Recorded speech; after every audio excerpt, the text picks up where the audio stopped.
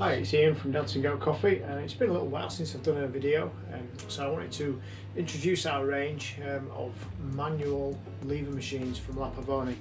So you can see here with the black handle and the black base we've got the entry level Europiccola then we've got the next step up in the range which is the Europiccola again. So a small boiler, boiler um, it has some milled wooden handles on it and a chrome base. And then to really help demonstrate how these machines work and how they are the, the epitome of the Italian 4M principle when making espresso, we've, we've um, unboxed and put out to, to demonstrate the, the Esperto competition edition.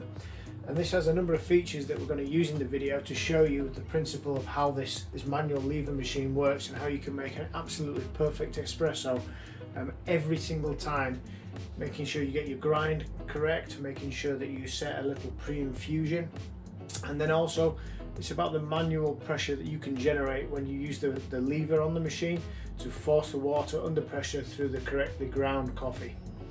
So what we're going to do first is I'm going to um, I'm going to set up some double espresso. So I'm going to use my cube on-demand grinder just out of shot to, to dose into these uh, the double filter baskets and two shots of coffee. So we've ground some coffee into the uh, into the group handles using the on-demand cube mill. Um, this this grinder is an on-demand grinder where you simply it grinds as you place the, the group handle up against the, the actuator button. Um, so I've weighed these just for the purpose of the video. Normally at home I wouldn't be so surprised I would so precise I would just go off uh, off eye. Um, so we know that in both these group handles there's just under 20 grams of coffee which seems quite a lot for a double shot but usually in the UK we're making quite long coffees and I also want to avoid any over extraction if I can um, when I'm preparing my espresso. So I'm going to use my nice weighted tamper, or well, just before I tamp actually I'll show you both group handles so you can see that there's there's an equal amount of coffee for the Europiccola there and then also for the competition edition. So firm pressure and a twist to seal my weighted tamper.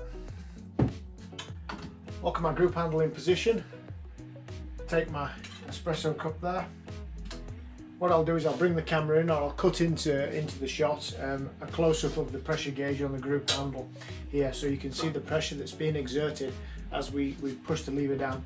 So we raise the lever up, that fills the chamber above the coffee and now it's pre-infusing the coffee as it's sat against the ground coffee in the group handle.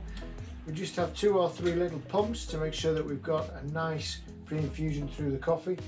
Then supporting the back of the machine, I'm then going to exert pressure with the manual lever down. You should be able to see the, gauge above the piston shaft move.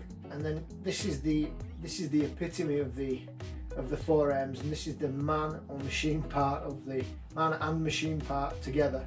So you see the pressure drop off as I reach the bottom of the stroke there so you should see a lovely espresso inside the glass cup there so we're going to repeat the same thing here, but with the Europiccola. So I'll just tamp that down. Firm pressure with a twist to seal. Lock that into position. Again, espresso cup under there. Same procedure again. Raise the lever. This then introduces water into the piston. We're then going to pump just to make sure that we get the, uh, the water through to the coffee to create the pre-infusion and now supporting the back of the machine we push down hard creating that pressure of around about 9 bar, 9.5 bar and this is the, the barista's arm. That's the, the, the mano part of the 4Ms so creating the pressure as we force the water down through the coffee to create a perfect espresso so you should see that pouring there there we go. So I'll bring these up to the camera so you can see. There we are. So that's from the competition edition and then from the Europiccola. A beautiful crema has been achieved on both coffees.